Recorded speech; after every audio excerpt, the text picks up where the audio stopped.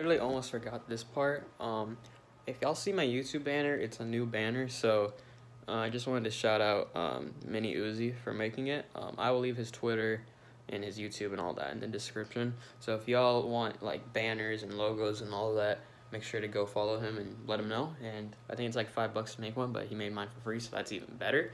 So he's a cool dude, and uh, yeah, I'll leave his links in the description. What's going on, guys? Connor Riley back here with another video, and I made a video yesterday, as y'all know. So yeah, but I thought I was gonna just post this because I think it'd be pretty cool for y'all to see.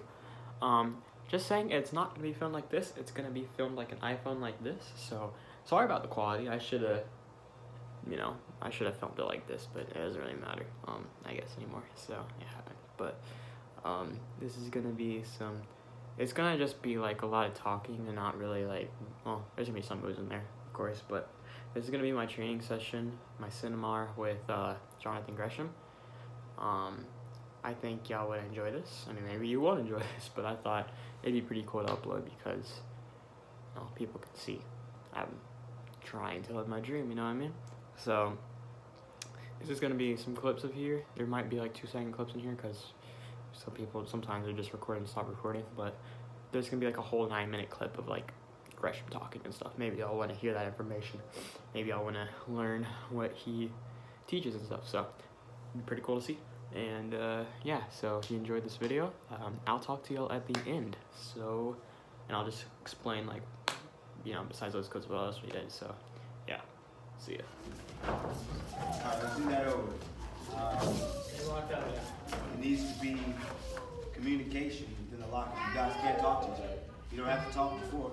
Once you lock up, move. You don't have to go straight to headlock. You can work the headlock. I mean, work the lock up for a second, and then say, "I'm grabbing the head," and then. You know? So don't be afraid to talk. Learn how to talk when you're in there with each other. Sit.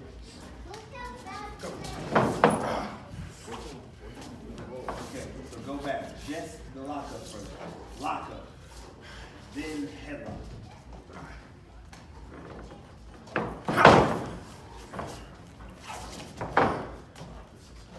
Okay, pause. Connor, make sure that uh, right hand of yours is around his waist. The idea of that is so you can control him if you need to. Move your left hand and go on his wrist. Move because he's applying pressure. And so naturally, if somebody does something to this area, you're gonna put your hand in. So that's what you wanna do. Uh, for, for your uh, stance here, you're kind of bent over, which I'm probably sure is kind of uncomfortable, right? So what you wanna do is you wanna squat. So you wanna find a good base squatting position that you're comfortable. with. Once you have that, that's when you wanna let yourself. All right, now you have the headlock. Now walk around, Connor, you're gonna keep that left foot planted. There you. All right, so you always want to come back to here. So you're in that headlock. Move as he moves. See how my stance is same? That's what you want to keep. Bam. Yep. Walk around. Uh, my dude, whenever you stop, you need to stop with your left leg back. Okay. All right. Last thing, that headlock needs to be the headlock. Whenever you lock in the headlock, you don't want it The to be windows here. are, for your headlock. are You beige. want that headlock. No, there's no You want it to be beige. I'm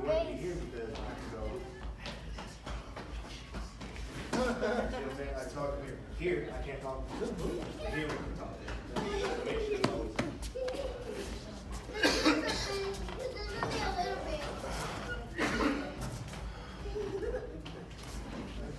Way better. look. Way better. look. Perfect.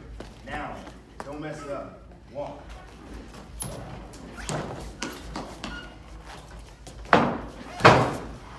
Good. Break. Connor, your turn.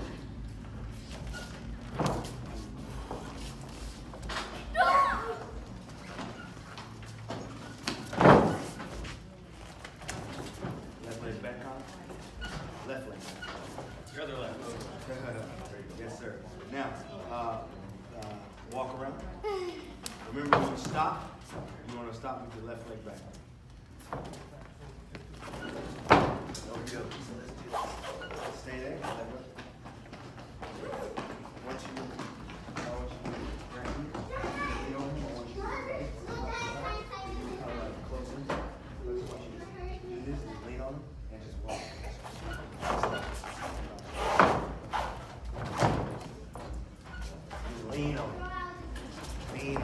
Lays in the day. Left leg back. Yes, sir. Hips out a little bit more. Before you move. Yeah. Uh, you're kind of leaning, you're not really like. Imagine like if you were to move, you just fall. Think about it like that. I still feel like move. Move out of the way. See, you still got balance. So come here. I'm leaning on him like this. Move. Move. Just move. I'm gonna fall. So that's what we need to lean on. Lean on him like he is your support. Yeah. If he moves, you fall. Yeah. Like lean on him like he is your support. So give him all of it. So start with the left leg back. Yes, sir. Lean in there. You leaning? It's an awkward feeling because our bodies want to make sure we don't fall. It's an awkward feeling, but Now the, the reason for this it gives you enough room to walk through. You see what I'm saying? So you don't have to stutter step. So you lean. All right. Now just walk normal. Keep that lean in there. Starting to, starting to put your body back in there.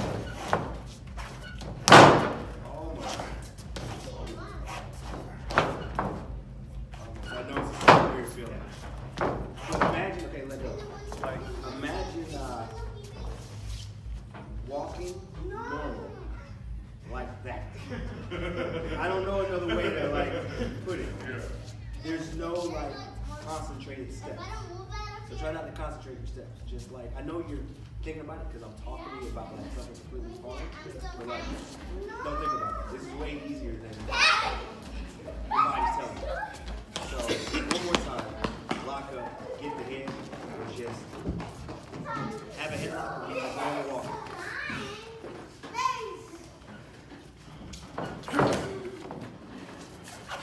Left leg back, yeah.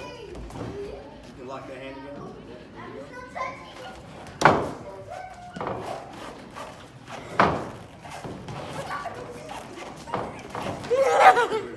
That's a lot better. It just needs to be worked on.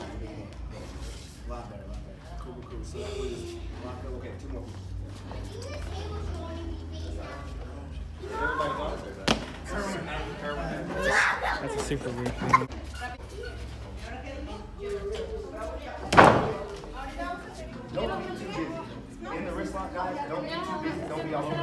Don't over oversell stuff. Don't sell a wrist like uh, Jericho. I don't need. It's like a game of chess.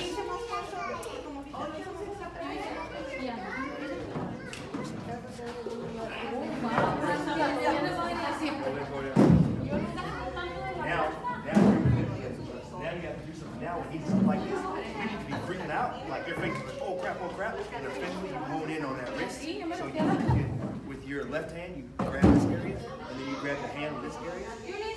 And as you're up there, you're kicking your feet, you're looking, he stops towards Mark. You wrench his wrist, and he goes, ah, and sits you down. Oh, ah, yeah, you push it down, and then you go back to normal wrist. Ooh. That's a story right there. He almost had him, but then he wrenched it. Ooh, he pushed you back down.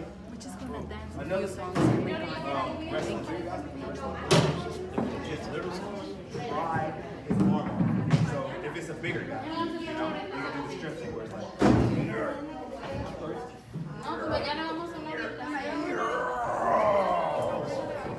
know what I'm saying? Instead of being really good, because it's just different genre of wrestling.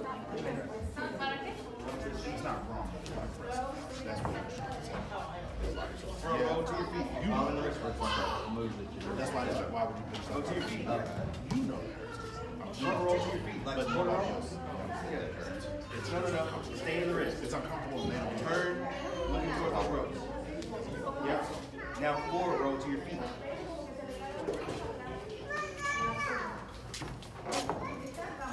In it, turn, you see space. All you do is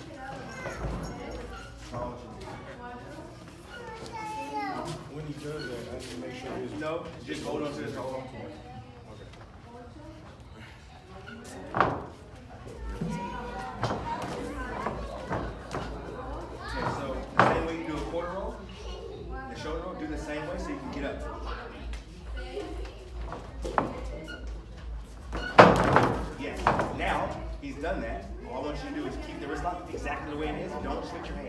Take him down that way. Yes.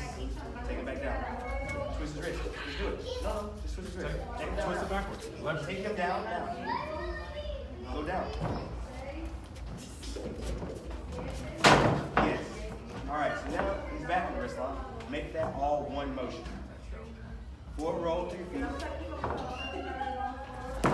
Now you're countering the roll by taking him down. When he takes you down, you don't have to back roll. You can just go straight to your back. Yep, so one more time. Forward roll. Now take him down. Let's move. Right. That's it. Okay, so this is the story as well. Normally you always see somebody front roll and do something else to get out of it, right? So if a guy front rolls, he comes to take him back down. You know? That's showing like he's trying to get out, but I'm a wrestler too. I see that. Get that? Alright, cool. Switch wrist.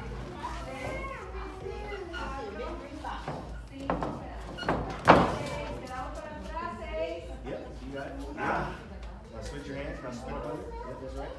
Nice. Now Connor, switch your hands like this. Over under. Give it. Yep, like you're about to eat a burger. Yes, sir.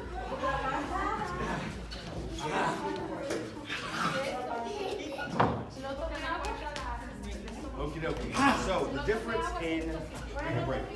Now this time around, there's a difference between heavyweight training and heavyweight training. Heavyweight training should be based off of what? Yes. Junior heavyweight training is based off of finesse. So in your case, those things that I showed, they can work possibly with someone that's your size, equal weight, or given. In this case, I would do, if I had a wrist on you, boom, I would say pick me up as far as you can. Vamos, arriba es uno. Oh, right? And then I just keep cracking the wrist. Ah, wrist. Ah, ah. You see, like, it's just, the psychology is a bit different. Finally, maybe you can out of that wrist like that, right? Finally, all you do, you make that really upset face and just go, I've had enough. All you do is reach in, scoop slam, body slam. No more, no more chain, bro. Come on, get up, get up. You know what I'm saying? Like, don't try to play by them. Like, just because other people are chaining doesn't mean you have to chain. Just because it's cool to do doesn't mean it's cool for you to do. People want to see, people want to be entertained. They want to understand your heavyweight psychology. So the thing is, like, the, the message I'm trying to send basically is don't chase the Joneses. Okay? I look at professional wrestling like lanes on a highway. You got the fast lane, the HOV lane over here. The Young Bucks, Cody Rhodes, Ricochet, Will Ospreay, freaking Dragon Lee, Maru, all those guys are in this fast lane, right? They're doing this high impact style that takes a large toll on your body. That's fine, not my cup of tea. Anybody know Necro Butcher? You guys know him? He retired, right? Guess what? There's nobody that wrestles like him in professional wrestling. Right? There's a market for somebody to wrestle like that. Become that, you can easily make money. Now, move over to the technical wrestling lane. We got like collectively maybe eight of us in pop now. You see what I'm saying? So you move over to the vintage luchador lane. There's no one. All the ones that used to exist are old. They're old now. And so it's not popular. Everyone that's a luchador now that's popular, they're in that fast lane. That's wrestling like the generic high impact indie style. You got the Lucha Bros, they wrestle just like the Young Bucks. There's no difference, really, besides the look. You see what I'm saying? But if you look look at old school Lucha Libre, nobody wrestles like that anymore. So there's an entire lane free that if somebody decides to learn that and present themselves as an old school luchador, they automatically move to the front of the line and being called like one of the best luchadors in the world. Right, because there's nobody else doing it. So think outside the box. Differentiate yourself. Become different. That's the only way to like get ahead quicker. For ladies, completely different psychology. Your job is ten times easier. I'll explain later. Um, so yeah, basically, you got any questions about this right now? No. Okay. Try. Yeah, of course.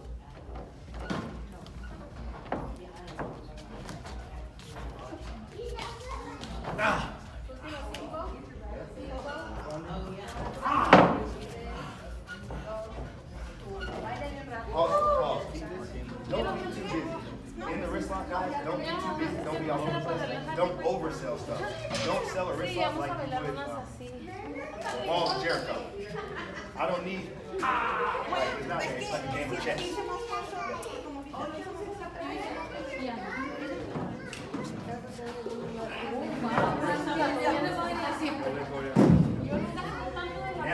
now, you got to do something. Now when he does something like this, you need to be freaking out. Like your fingers, like, oh crap, oh crap, and eventually you hone in on that wrist. So you, you with your left hand, you grab this area, and then you grab the hand with this area.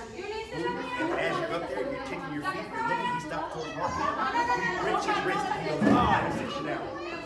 Oh, ah, yeah, you push it down, and then you go back to normal wrist. Ooh. That's a story right there. He almost had him, but then he wrenched it. And he pushed back down. Another thing, um, wrestling too, guys, wrestling, just literally drive his arm. So if it's a bigger guy, you know, you can do the strip thing where it's like, "Nerd." You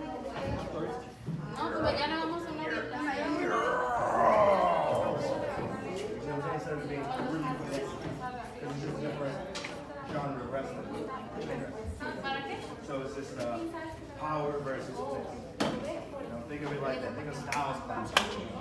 So in your mind, if you decide to change, it's not pretty. It's power. And if you get confused, it's like, forget this, slam. You know, like get off me. And that's it. Because once you get the slam, there's no more wrestling. It's almost like, well, you can still wrestle, but once you get the strike, now it's a fight. You know what I'm saying? Because like, if I'm the heel and I hit you, what you want to do? Exactly. So there's no more change. You know what I'm saying? So always keep that in mind in the story of. Once you use the fisticuffs, there's no more take. They're about to start. Okay. Yeah, they're about to music up. So, So uh, are we finished or something? Or? unless you want to try to talk over it. It's up to you guys. What you guys want? You want to keep going or you want to say screw it? It's super That speaker's right there. Okay. Um, sorry I was late. Traffic. Um, thanks for coming. I hope you guys picked up something. Any questions? Anybody else get this? Questions? What's up? How do we find the work for us? What would you do if you guys do like, like you said, Let's go outside.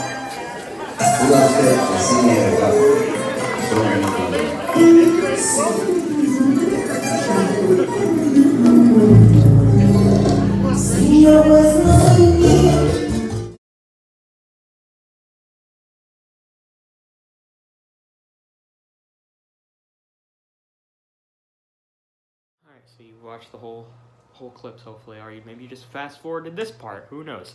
Um, but we what else we worked on?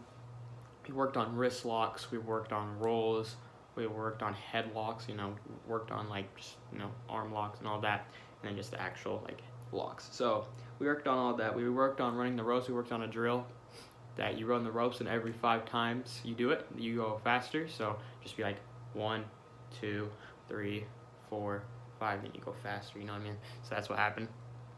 And then, what else did we work on? We worked on a lot of stuff. Like, this was like four days ago, so it's kind of hard to remember. But I'll also include like a picture in one of these clips of me with Gresham as, well, because, you know, why not? and, uh, yeah, it was a very fun experience. I wasn't even know I was to go there, and so Gresham invited me. It's kind of crazy guy Gresham did, because, you know, I look up to him, so I'm like, oh, he said I can go. So I was like, cool.